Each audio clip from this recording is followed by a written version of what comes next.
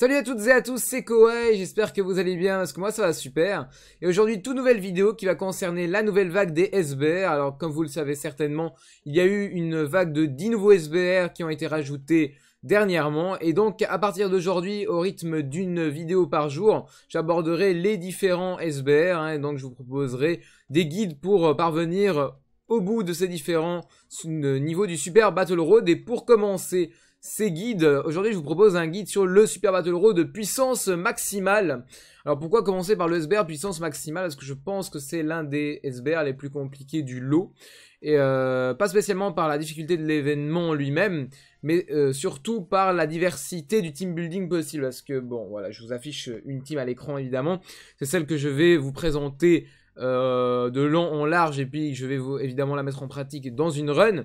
Mais avant toute chose, allons voir un petit peu la catégorie puissance maximale, ce que ça vaut. Et eh ben, on peut constater que c'est extrêmement varié. Euh, c'est justement quelque part le problème de cette catégorie, c'est que ça part un petit peu dans tous les sens. Alors comme vous pouvez le constater, je n'ai pas le leader Goku 4 Full Power. Parce que de base, cette catégorie est sortie avec le Goku SSJ 4 Full Power technique euh, qui donc euh, lead cette catégorie à 150%.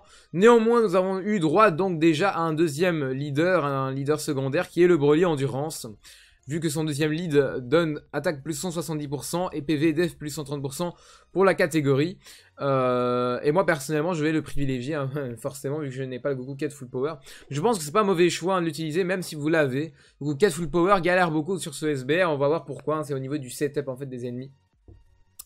Et donc, comme vous pouvez le voir au niveau de la diversité de cette catégorie, on est sur quelque chose de très très particulier parce qu'on a beaucoup de, on a des mélanges vraiment bizarres. On a pas mal de super, on a pas mal d'extrêmes aussi. C'est une catégorie qui mélange les deux.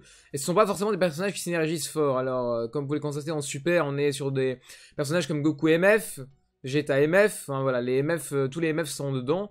On a euh, du la Kefla, Caulifla, etc. Bon, alors ce sont soit des personnages qui ne sont pas intéressants à jouer, soit des personnages qui ne synergisent pas non plus de dingue, à exception peut-être des deux Vegeta, Vegeta Evo, Vegeta MF. En extrême, on a des choses euh, qui sont euh, aussi particulières, parce qu'on a les Saiyans, des, Saiyans méchants, entre guillemets, hein. là on a les fameux Broly hein, qui se retrouvent en puissance maximale. À côté de ça, on a des euh, personnages comme Freezer Full Power, Omega, euh, ce genre de choses. Donc en fait, on a une catégorie qui est vraiment bordélique, hein, on peut se le dire. Et donc finalement, dans ce lot-là, comment se démêler? Eh ben, il y a plusieurs stratégies possibles. Alors moi, je vous en présenter je vais vous en présenter une en détail, hein, je ne sais plus parler. Je vais vous en présenter une en détail, mais il y en a plusieurs évidemment. Il y a la stratégie euh, bourrine, quand c'est ça va prendre une, une, une, team qui tape super fort avec par exemple, le Broly, le Vegeta Evo, Vegeta MF, ce genre de choses là. Il y a une autre stratégie que, et c'est ce vers quoi je vais aller aujourd'hui, c'est une stratégie plutôt de contrôle. Alors comment euh, ça va fonctionner? Et eh bah ben, comme je l'ai expliqué, on va prendre Broly Endurance en leader vu qu'il lead donc la catégorie puissance maximale. Alors à noter un PV def plus 130%, on va euh, le sentir passer, parce que c'est quand même relativement faible pour un, SBR de nouvelle génération, une troisième génération, c'est quand même relativement embêtant, autant les PV que la défense en fait, on va être... Euh, pas passoire, mais on va le sentir passer. Et donc pour combler ceci, je vais mettre en place une rotation qui va consister à mettre, à bloquer Golden Ange avec Omega Shenron. Alors pourquoi? Que Golden Ange, hein, je rappelle, c'est le leader de la catégorie ressuscité. Qu'est-ce qui nous vaut Il a attaque moins 15% pour les alliés et ennemis de la classe super. Et bah ça tombe bien. Parce qu'en fait, euh, si euh, vous n'êtes pas au courant, comment s'organise donc le SBA puissance maximale Nous allons avoir affaire dans le premier combat à un Tenshinhan et Shaozu agilité, ainsi qu'un Yamcha et Puer endurance. Euh, enfin, plume, hein, puard, puard, j'ai jamais su comment on dit. Euh, en deuxième combat, nous avons le Gohan avec Videl qui est puissance. Nous avons ensuite Goten et Trunks technique. Pour terminer le combat, nous avons Goku euh, SSJ avec Vegeta SSJ qui est intelligence et Great Saiyaman 1 et Great Saiyaman 2 qui, qui est endurance. Et donc, euh, bah voilà, vous pouvez le constater, c'est que ce sont tous des ennemis qui sont de type, super. Et donc ça nous arrange vu que le Golden Ange, lui, débuff euh, via son passif les alliés de classe super. Je rappelle, hein, comme à chaque vidéo pratiquement, que le debuff en passif, c'est plus fort que le debuff en SP. À côté de ça, nous avons Omega Puissance qui lui débuff de 30% l'attaque de tous les alliés. Hein, lui, il n'a pas de, de restriction.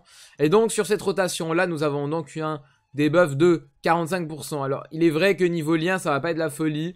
Euh, il me semble, de mémoire, il n'y a pas de lien de qui qui proc entre les deux. Donc, c'est un petit peu compliqué, mais voilà, il faut faire avec les moyens du bord. Il faut essayer de gérer la chose.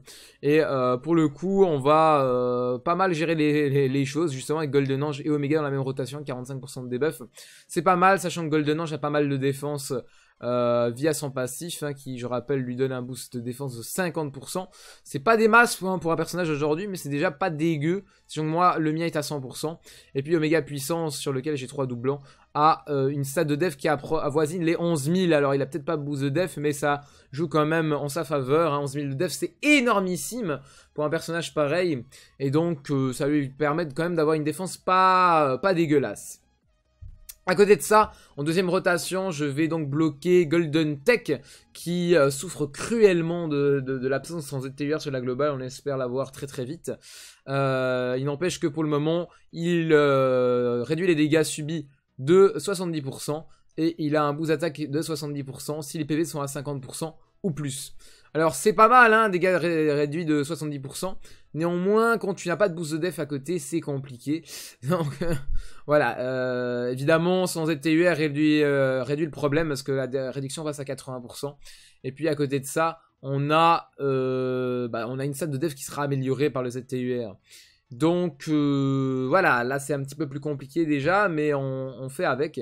Et puis on va également jouer le Celtec. Le Celtec, lui, il va être un petit, il va jouer un petit peu le rôle de flotteur vu qu'il va assurer une, euh, un espèce de rôle d'off-tank, il va récupérer des PV. Lui, voilà, il va essayer, on va, il va tourner et puis on va, il va peut-être revenir de temps en temps en rotation en fonction de quand on en a besoin. Et je l'ai pas présenté, mais c'est une unité qui va être très très très très très importante cette composition, c'est la C21. Parce qu'elle vient amener en fait un gros contrôle sur la game, puisqu'elle a énormément de def, elle tape de façon honorable, elle, a se donne du ki, donc elle va partir en spé alors qu'on a des problèmes de ki dans cette team, vous le voyez. Euh, elle va débuff, elle va récupérer des PV, donc elle fait un petit peu tout. Euh, elle va amener des liens avec certains personnages. Donc elle va vraiment faire la jonction entre la plupart de ses persos parce que vous le savez, il n'y a pas de, problème de lien. On a entre Mega et euh, Golden Tech quand même vitesse époustouflante. Ici on a récupération qui va proc avec Golden Tech. Hein, Tech et Golden ont ce lien. Elle, elle a euh, vitesse époustouflante, je crois, hein, si je me dis pas... Ah non, même pas, elle a peur et désespoir, ok. Mais à coule pas. On peut à désespoir, là, ça proc difficilement cette team, hein, c'est vrai. Euh, et puis on a quand même, le lien Intello, hein, si je dis pas de bêtises. Oui, Intello, qui va proc, euh, si je dis pas de bêtises, avant que ce soit génie. Non, c'est génie, c'est génie, génie, du coup, qui va proc avec Broly Endurance. Beaucoup, beaucoup de conneries qui sont dites hein, dans le lot. Mais je sais qu'il y a quelques synergies. Hein, voilà, il y a génie qui va proc entre les deux. Là, on a quand même euh, du ki. Donc voilà, vous voyez qu'il y a quelques liens, mais c'est quand même galère. Hein, vous voyez, moi-même, je ne sais même plus où sont les liens tellement c'est la galère. Donc c'est quand même pas si simple en termes de ki, mais voilà, il va falloir fonctionner comme ça. Euh, je vous préviens tout de suite, hein, euh, parce que la run, comme vous, le savez, vous avez l'habitude maintenant, est déjà tournée. Le troisième combat est extrêmement plus compliqué que les deux premiers. C'est vraiment la difficulté, donc si vous pouvez économiser des items là-dessus, faites-le. De toute façon, vous allez le voir assez rapidement, parce qu'on va passer tout de suite à la run. On est donc parti pour la run. Alors au niveau des items, j'ai pris C8 Bulma, Marron et Princesse Ebi. Alors pourquoi Marron alors qu'on a affaire à des, combats de persos? Parce que Marron débuffe l'attaque et on ne réduit donc pas les dégâts. Et donc ça va venir se stacker à la réduction des passifs et donc ça va être particulièrement intéressant dans ce contexte-là. Et donc vous le voyez, on commence avec une rotation Omega C21 Cell, pas mal d'attaques en dernière position. Donc j'ai pris le parti de laisser Cell en dernière position pour euh, encaisser les coups.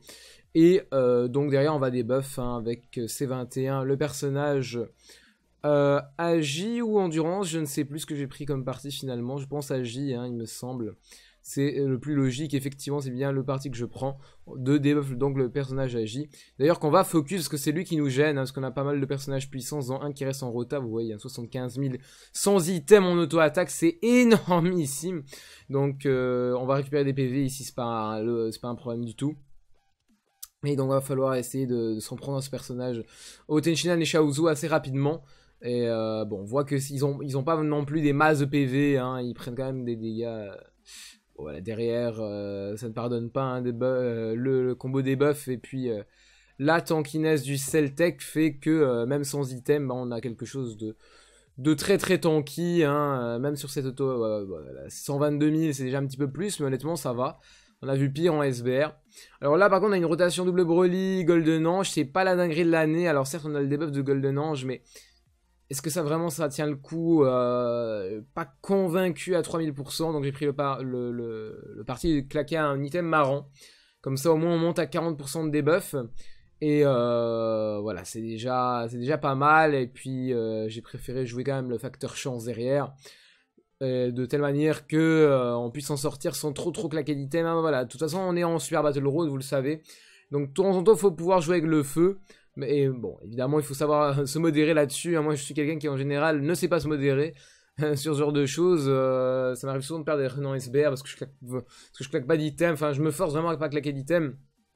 Alors que je devrais donc essayer quand même de jauger. Euh, là, clairement, il y, avait, il y avait lieu à claquer un item. Vous voyez, hein, le, marron nous permet vraiment d'être euh, complètement euh, imperméable aux attaques, sachant qu'il nous a spé, les deux nous ont spé au tour précédent. Donc je m'attendais du coup à ne pas trop recevoir ici. D'ailleurs, malgré les items et la réduction de Golden Ange, bah, il s'est pris quand même un beau 52 000 à contre-type. Hein. Donc quand même, faut faire attention. Là, ce qui est avantageux, c'est que Broly, il est en carnage. Hein. il, est, il, est, encore en mode carnage, donc du coup, il a pu mettre des dégâts sur les deux en même temps. Et ça, c'est assez cool euh, pour essayer de clean assez rapidement. Là, le problème, c'est que Golden Tag, qui est censé être, euh, du coup, notre tank, bah, euh, est un point mort. c'est le problème d'avoir Golden Tech en pas ZTUR. Hein. C'est que, du coup, c'est un point mort dès que tu descends sur la barre des 50% de PV. C'est plutôt insupportable, on va, on va pas se le cacher. Mais euh, malheureusement, il n'y a pas d'autres personnages qui remplissent son rôle en puissance maximale. C'est pas une team... c'est pas une team, en fait, défensive de base. Hein. Là, j'ai pu... Vous je vous ai aligné un un build qui est défensif, mais de base, c'est pas du tout une team orientée comme ça. C'est une team de gros, gros bourrins que ce soit au niveau de Goku 4 Full Power ou de Broly. Mais euh, voilà, j'ai été piocher un petit peu les éléments qui peuvent nous aider. Parce que je suis et je reste convaincu que le, le debuff en SBR, c'est la meilleure solution pour le passer. D'ailleurs, on va le voir hein, ici que ça reste pas mal, le, debuff malgré tout. Donc euh, l'objectif ici, ça va être de... Ça va être en fait de, euh, de continuer à taper ce Tenshinhan Shaozu. Bon, évidemment, la speed sur C21 contre T, vous allez voir que c'est quand même... On va prendre très très cher. 112 000, 112 000, c'est quand même beaucoup. Euh, c'est quand même beaucoup, mais quelque part, c'est pas autant que ce, à quoi on pourrait s'attendre en SBR à contre-type, hein, qu'on soit très clair. C'est même finalement assez peu, et c'est justement le résultat des debuffs cumulés, de la présence d'Omega, etc. Et ça, c'est là où on voit la force un petit peu de cette team. C'est au niveau de ces deux debuffs cumulés. Sachant qu'en plus, on n'a pas notre rotation, hein. on n'a pas encore notre rotation complète, vu que de base, je veux jouer la rotation Omega Golden Ange, mais comme vous avez pu le comprendre, je n'ai pas pu déplacer Golden Ange au tour précédent, vu le setup un petit peu particulier avec les deux Broly. Et donc, nous en sommes à cette rotation-là. Et euh, ici, on va pouvoir donc dégager le Golden Ange pour le faire, euh, pour le faire rejoindre avec Omega Puissance. Ici, euh, une petite hésitation hein, que j'avais euh, quant au fait de savoir euh, qui allait tanker le mieux entre Broly et Celtec et finalement je pense que je prends le parti de mettre Broly vu que Celtec n'aurait pas été en mesure de prendre beaucoup de ki. D'ailleurs Broly qui va pouvoir être également en mesure de tuer Tenshinhan et Shaozu hein, dont il reste un trait. Un, un simple trait. et malheureusement on a un plateau qui est vraiment très triste pour Celtec ici qui va donc euh, devoir, euh, devoir s'absenter. Hein. Il va pas pouvoir lancer une petite spé ce tour-ci, mais c'est pas très très grave. Euh, avec le debuff, Broly tank très très très bien, hein, ça va. C'est pas le personnage le plus défensif du monde, mais quand on crée le setup derrière, ça va, il tank très bien. Sachant qu'on a encore le Marron, je crois c'est le dernier tour avec Marron. Et puis on a le passif de Golden Ange. Et donc derrière, voilà, Broly, une grosse brute, hein, c'est lui qui amène beaucoup de... C'est lui qui compense en fait l'aspect euh, bah, l'aspect dégâts de la team parce que bon, en général, le problème des team control, c'est que ça manque de dégâts. Et là, c'est voilà, la team ici fait pas des masses de dégâts dans ses rotations contrôle. Et Broly, bah, il va compenser complètement parce que vraiment lui, par contre, c'est un monster truck quoi. Il va envoyer euh, sur deux spé, bah du coup, c'était du euh, pratiquement du 4 millions en valeur affichée. évidemment, ça tape pas 4 millions parce qu'on est en SBR, il y a une grosse barrière, mais vous avez capté qu'il a un potentiel de dégâts qui est vraiment énorme. Et donc ça nous aide pas mal. Hein. Ici d'ailleurs, double transfo. La C21 qui se transfo, ça peut être... Euh, c'est pas mal. Hein. C'est pas mal parce que du coup, elle va pouvoir... En fait, le debuff passe sur sa spé, la régène passe sur son passif. Euh, est-ce que c'est vraiment avantageux? Ça peut en fonction des attaques doubles. Que du coup, si elle lance une double spé, bah, ça peut double debuff. Ici, vous allez voir qu'au final, ça va pas nous servir tant que ça, puisqu'on va vite... Euh, on va très très vite tuer hein, finalement Ça va pas mettre tant de temps. On va pas mettre tant de temps que ça à tuer hein, ici. Ça se passe, ça s'est dégoupillé assez bien. Le premier combat était clairement pas le plus dangereux. Hein. Comme vous avez pu constater, deux items en suffit pour s'en sortir. Sachant qu'on a affaire à trois combats. Euh, bah en soi ça, va, hein. c'est pas la la mort de claquer deux items au premier combat, il faut pas hésiter. Hein. Si vous sentez une bonne run à claquer deux items au premier combat, ça va, c'est pas un, gros souci. Par contre, euh, faut pas non plus être euh, pas non plus être laxiste, on va dire, sur cette consommation d'items, parce qu'il faut vous dire que le dernier combat, il va monter la difficulté de façon très drastique, comme je disais à l'intro, c'est vraiment plus le même, c'est vraiment plus le même combat. Déjà ici, on va voir avec ce Gohan Evidel et Goten et Trunks, c'est pas exactement la même chose. On va déjà se prendre un petit peu plus cher. D'ailleurs ici, je vous conseille avec cette composition de focus Gohan et Videl, alors certes c'est un petit peu euh, contre nature parce que je pense qu'ils ont plus de PV que Goten et Trunks, mais étant puissance ils vont nous gêner énormément parce qu'ils vont, ils vont faire mal à Broly en fait. Et Broly revient tout le temps parce qu'on en a deux dans la team, et donc c'est une raison suffisante pour aller focus lui et pas Goten et Trunks alors que Goten et Trunks étant tech, bah il va pas nous gêner, il va nous gêner sur personne. Et puis surtout, euh... et puis surtout on a même Golden Ange qui va pouvoir tanker. Alors qu'à contrepartie, euh, le Gohan et Videl on n'a pas d'agi du tout dans la team. Et euh, on, a, on a deux endurances, donc c'est une raison euh, plus que valable, je pense, pour aller focus Gun et Videl. Voilà un Golden Tech qui ne prend absolument rien. Mais ça ne va pas durer très longtemps, parce que Golden Tech, après, en troisième combat, vous allez voir qu'il va prendre des belles tartes. Hein, le troisième combat, vraiment, ça m'a fait un choc. Hein, je vous le dis, quand j'ai fait la run, j'étais là... Quoi? Euh, Voilà, j'étais un petit peu, j'étais un petit peu son dessus dessous. Je m'attendais pas du tout à, ce que ça allait donner. Voilà, dans quelques secondes, vous allez voir le truc le plus triste de l'histoire de l'humanité. Euh, réellement, c'est vraiment le, le, truc le plus triste de l'histoire de l'humanité. Voilà, Gon et Videl qui nous spé hein, sur le personnage du coup Endurance. Nous allons prendre 255 000. Hein, c'est vraiment très très chouette. Nous aimons la vie hein, de nous prendre des spé à contre-type. C'est exactement ce que l'on souhaite dans le contexte d'un SV. Alors évidemment, nous avons notre fameuse rotation Golden Ange avec Omega. Euh, donc vous allez voir assez vite que c'est une rotation très très très très forte. Et donc voilà, Bulma ici euh, pour euh, taper un petit peu plus fort, récupérer des PV. J'estime qu'il n'y avait pas besoin de claquer un item défensif dès lors qu'on était dans une rota avec 45% de debuff. Sachant que derrière, il y a encore la C21 qui a des buffs sur Saspé, Gohan et Videl. Et donc Gohan et Videl vont être des buffs du coup à hauteur hein, de, euh, bah, de 65% ici, hein, vu que oui c'est 20% sur son passif, pardon j'ai dit l'aspect, mais non c'est son passif, c'est 21 en, non transformé. Et donc oui, ça donne du 65% de debuff. Donc d'ailleurs, vous voyez, on prend que dalle. Hein. On prend vraiment 0 ici, on prend vraiment 0 dégâts. Euh, vu euh, les debuffs. L'Oméga qui envoie quand même très très cher. moi je suis convaincu que ce Oméga puissance est meilleur que l'Oméga endurance aujourd'hui. Il a un impact beaucoup plus élevé sur les SBR où il est jouable. Alors qu'Oméga endurance, bah, en fait finalement la seule raison pour laquelle on le joue c'est dans les SBR Dragon Maléfique vu que, c'est le leader. Mais Oméga puissance clairement, et en plus il a pas encore son ZTUR. Mais euh, c'est vraiment un monster truc, quoi. C'est vraiment une unité de ouf qui apporte beaucoup de choses. J'espère, euh, j'attends beaucoup de son, ZTUR en espérant le revoir euh, briller comme à l'époque. Donc c'était quand même un. Enfin, quoique à l'époque, Omega c'était quand même un god tier qui était un petit peu boudé, hein, on va pas se cacher. Golden Tech du coup qui tank toujours aussi bien ici, hein, je rappelle, on est toujours au deuxième combat, donc Golden Tech continue de tanker honorablement. D'ailleurs, double speed Golden Tech à 1 million chacune. Et donc on en voit euh, sur Gohan et Videl un petit 700 000 en crit. Gohan et Videl qui d'ailleurs est bientôt mort, hein, à la petite spé d'ailleurs de Goten Trunks sur Golden Tech. Vous allez voir que ça va pas faire grand chose, on est sur 42 000 je crois. 44 000.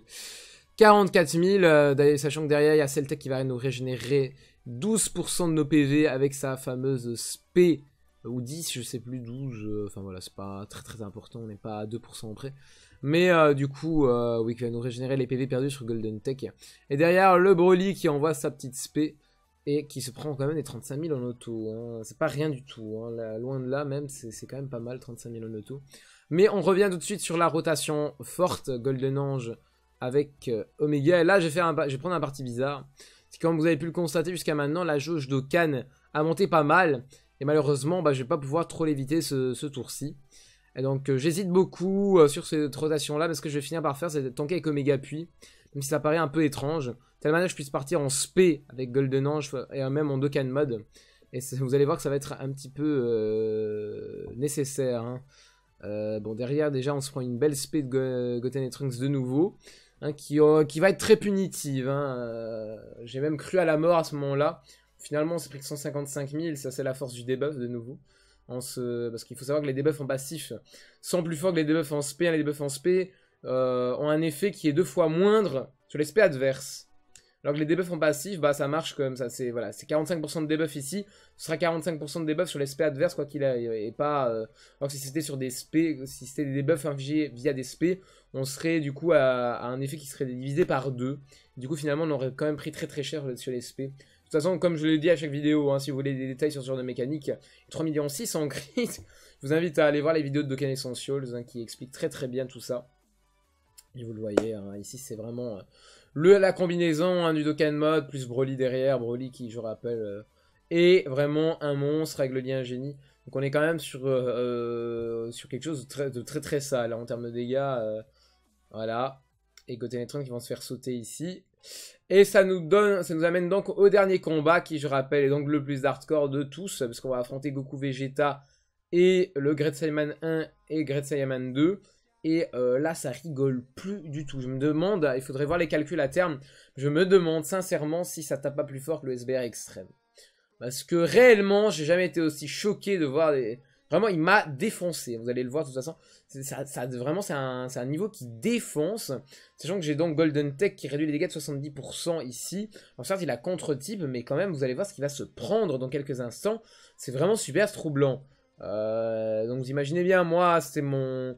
C'était la première fois que j'arrivais jusque là. Hein. Moi, les, vidéos SVF, je vais vous balancer, c'est les premiers, mes, premiers, euh, mes premières réussites de run sur ces différents SBR.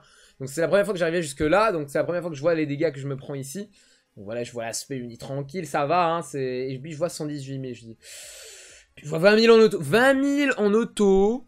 Alors certes, certes, ok, c'est avec avantage type, mais quand même, quand même, je suis là, bon, je suis dans la merde. Moi, pour moi, j'étais mort ce tour, en fait. J'étais mort parce que derrière, il y a Celtec qui tankait à contre-type. Pour moi, j'étais limite mort sur ce tour-ci, en fait.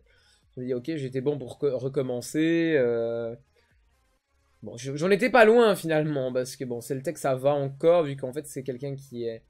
Il a récolté quand même pas mal de défense sur cette rotation. Puis, en fait, c'est 21 derrière, nous a carry de ouf. C'est 21 vraiment sur cette run, elle nous a carry de ouf, parce que, ici, bah, c'est double régène. Euh, donc, ça nous permet quand même de tenir tout ça. Euh, et donc, on, finalement, on a quand même tenu le tour avec moins de 30% de nos PV. Euh, et donc, avec Omega et Golden Ange, de nouveau, cette fameuse rotation. Vous vous doutez, bien qu'à ce moment-là, je me suis précipité pour claquer un Princesse Ebi. D'ailleurs, est-ce que j'aurais vraiment dû claquer un Princesse Ebi sur cette rotation? Je suis pas certain. En fait, en débuffé déjà, j'aurais peut-être dû claquer juste un C8. Parce que là, en fait, c'est un peu d'overkill. On va vraiment prendre 0 dégâts. Bon, ici, je prends le parti, hein, évidemment, de ne pas faire partir Oméga Puissance en SP, il me semble. Je sais plus lequel des deux j'ai... Non, c'est Oméga Puissance que je vais partir en SP. Et donc, du coup, derrière Golden Ange, je ne peux pas partir en SP, malheureusement. Même si j'aurais bien voulu, hein, parce que c'est quand même quelqu'un qui met pas mal de dégâts à Golden Ange. Hein, il ne faut pas le sous-estimer. Euh, derrière, lui, par contre, on va l'envoyer directement sur Goku et Vegeta pour infliger un max de dégâts. Hein. Bah, de toute façon, il est en carnage, là, donc il n'y a pas de question qui se pose. Finalement, j'ai bien fait hein, de mettre Omega, Puissance ici en premier. Parce qu'il y a la petite spé qui tombe dessus à 40 000. De toute façon, euh, c'était évident de mettre Omega Puissance ici, vu qu'on a une majorité d'attaques endurance sur cette position. On n'a qu'une euh, seule attaque 1T, euh, je crois. Derrière, on prend vraiment zéro dégâts avec le combo, hein, item, des buffs, etc. C'est vraiment que dalle, hein, donc raison de plus pour se demander si vraiment c'est utile de claquer Princesse Ebi sur cette rota. Je ne pense pas, hein, je... Vu que c'est des premiers essais, évidemment, j'allais à l'aveugle, donc il y a pas mal d'erreurs, etc. Voilà, double split Broly qui est très très clutch, hein, vu que c'est en carnage en plus. Il y a quelques erreurs par-ci par-là, mais c'est pour ça que du coup je vous propose un post commentaire pour pouvoir revenir dessus avec le recul du temps. Et donc pouvoir vous dire, voilà, là ici j'ai fait ça, mais finalement est-ce que c'était pas une erreur? Dans l'occurrence, je pense que Princess Baby c'était quand même une erreur, parce que après dans, un autre sens, on a, ça nous permet d'avoir Golden Tech ici qui va tanker, hein, qui, ne va pas se ramasser sa restriction pourrie. Mais vous voyez que c'est quand même très compliqué. Hein. C'est quand même très très compliqué parce que on sait du coup que Golden Tex prend des 20 000 en auto à contre-type. Donc euh, voilà, c'est un peu chaud là. J'ai finalement décidé en première position de mettre Broly pour l'avantage type. Je gardais du coup euh, le Golden Tech au centre pour tanker les deux attaques du Great Saiyaman 1 et Great Saiyaman 2. Non, c'est celle que je mets, ouais c'est ça, c'est celle que je mets en, en, en deuxième. pour nous régénérer. Et puis tanker ça, euh, tanker ces deux auto-attaques là. Et puis derrière le Golden Tech euh, pour tanker les dernières positions. vous voyez qu'on se prend quand même du 17 000. Hein. Euh, malgré l'avantage type, 17 000 quand même, c'est quand même beaucoup. Hein. Sachant qu'on est en train de parler de Broly. C'est pas une def non plus horrible. Sachant qu'il a des doublons ici, donc 18 000. On, va, on va voir derrière combien on se prend. déjà l'aspect, pour commencer. Contre-type certes, mais c'est quand même... On s'est pris autant sur Golden Tech. Enfin, c'est débile. 61 000 en auto-attaque. Pour moi, j'étais mort ici. Hein. Franchement, j'ai fait une grosse cascade. Euh, c'était tendu. Hein. C'était vraiment tendu. J'étais très très loin d'être sûr de passer ce tour-là. Finalement, euh, la double régène de Celtec va nous aider pas mal à tenir le coup. Euh, même, je, me demande si c'est pas ça qui nous a sauvé finalement. Faut voir la barre de PV finale, mais je me demande si c'est pas ça qui nous a empêché de mourir. En fait, pas loin, hein pas loin du tout. Même, euh, mais en fait, si. Si on n'avait pas eu Gold, si on n'avait pas eu cette double spé de Celtic, je pense qu'on était, on était mort en fait, oui. Donc euh, voilà, beaucoup de. Là, c'est, j'ai fait intervenir l'arbre de, poten... l'arbre de... de potentiel et... la luck. Parfois, c'est comme ça. Il y a des, il y a des moments où finalement, on est un petit peu, un, petit peu obligé euh, parce que sinon, ça devient trop chaud en termes de consommation d'items. Et puis encore de nouveau, je rappelle, je suis même pas sûr d'avoir claqué les bons items ici, hein, finalement. Donc, en tout cas, d'avoir ramené les bons items, faudrait que je vois avec le recul ce qu'il en est. Mais en tout cas, ça a marché, donc euh, autant que je vous le montre. En tout cas, je suis sûr que ça, peut marcher, vu que j'y suis arrivé avec comme ça. donc j'ai pris le parti de casser ma rota. Parce qu'on est au dernier combat, je rappelle, hein, encore une fois. Et donc, euh, étant au dernier combat avec des boss qui tapent aussi fort, je suis obligé de faire des concessions comme je peux. donc j'ai décidé de mettre ces 21 en premier, parce qu'avec euh, boss, elle a pratiquement 100, elle cumule à pratiquement 100 000 de def. J'ai pas meilleur tank en fait, donc vous voyez, elle prend 0 dégâts dans le setup ici. En plus, elle va, elle va encore rajouter un petit debuff hein, au Goku et au Vegeta. Et puis elle va nous régénérer des PV d'ailleurs. Elle va le faire deux fois, donc on, au lieu de nous régénérer 10% des PV, elle va nous régénérer 20% des PV. Ça c'est vraiment très très bon. Derrière, le Great Simon 1 et 2 pratiquement mort. À partir du moment où vous en avez géré, vous en avez géré un des deux, ça devient beaucoup plus simple. Hein, je vous le dis tout de suite. Ça devient euh, beaucoup beaucoup plus simple. Euh, Golden Ange derrière, 35, 21. Le Broly. Le Broly qui, qui se transforme. J'allais écrire en se donc il se transforme tout simplement. Qui se transforme même deux fois. Puisque on a deux Broly dans cette rotation. Ensuite, euh, ensuite bah, ce qui va se passer, c'est que là, on est sur quelque chose de très clutch, parce que du coup, les, toutes les attaques sont concentrées sur les Broly. Donc on va pouvoir laisser Celtec au centre, se laisser euh, être tranquillou. Et puis envoyer une grosse salve. je meurs en vidéo. je pense que ça se voit, mais je suis vraiment très très fatigué. Mais je vais me... vous inquiétez pas, je suis vivant. J'avais quand même envie de vous proposer cette vidéo SBR hein, euh, dès aujourd'hui, donc euh, me voilà pour commenter tout ça. Et donc euh, Broly derrière qui va envoyer une salle destructrice sur Goku Vegeta. D'ailleurs, il me semble hein, que c'est ce tour-ci qu'on va faire le kill. Donc voilà, hein, vous avez eu votre petite démonstration du SBR en full power. Vous avez vu que la stratégie de debuff, bah, elle est toujours aussi fonctionnelle. Hein. De toute façon, sur tous les SBR que j'ai pu vous présenter, en, mode de debuff, hein, que ce soit l'extrême puissance entre autres. Euh, il y a eu plusieurs, il y a eu surtout l'extrême puissance, ça je pense que c'était vraiment le summum. Mais voilà, tous les SBR où que je vous ai présenté comme ça ont été euh, fructueux et même très, très, voire très fructueux. Donc voilà. Sur ce, moi je vous, euh, bah, souhaite euh, la bonne journée. Hein. Vous voyez, on a claqué deux items, on a parvenu au bout de tout ça. Donc je vous souhaite une bonne journée, on se retrouve euh, dès demain pour une prochaine vidéo SBR. Et voilà, je vous laisse sur le petit écran qui nous dit qu'on a réussi. Donc le SBR puissance max avec cette belle composition en 20 minutes. Ciao ciao